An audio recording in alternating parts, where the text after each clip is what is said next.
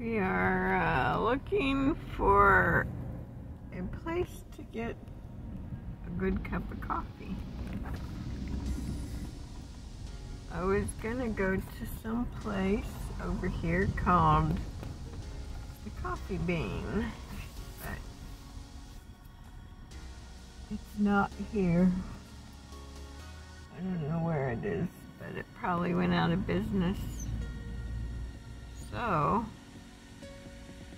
see if we can find a different coffee store to try out. Might be fun. Something that's not Starbucks. Alright, let me get back on the GPS and see if it can bring up a coffee store. Alright, well, oh, my hands are wiggly. There's what I found. Philz Coffee. Let's go try it out and see if it's any good.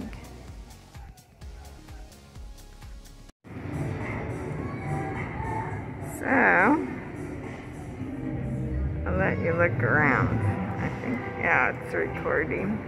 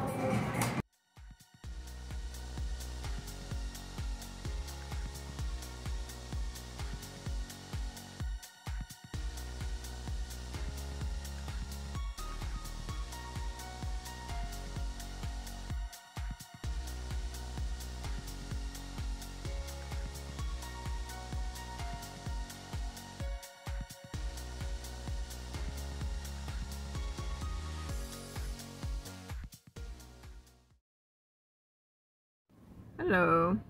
So, I got my coffee. It's not Starbucks. Yay! I wanted to try, I wanted to try some stores that aren't Starbucks. So, it doesn't look like anything special.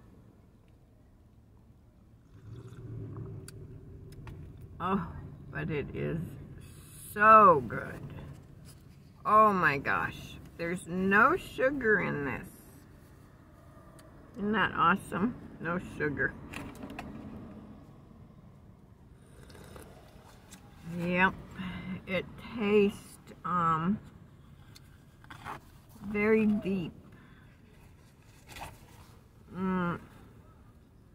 It does have some milk in it.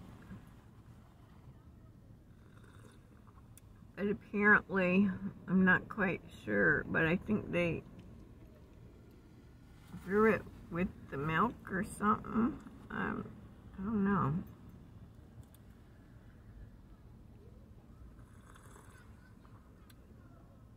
Ooh, that's good. Well, if you guys got a Phil, Philz coffee shop anywhere near you, or if you're ever in San Diego, Google up Philz Coffee and um, go try them out. They're very good. Oh yeah, wow. This is good. I like this because it's not all sugary. And, um, man, the coffee is just deep. They, um, like, don't, I don't know, the way they brew it so I'm not telling you about it very well. Hmm. Yeah, if you're in uh, San Diego, try Philz Coffee.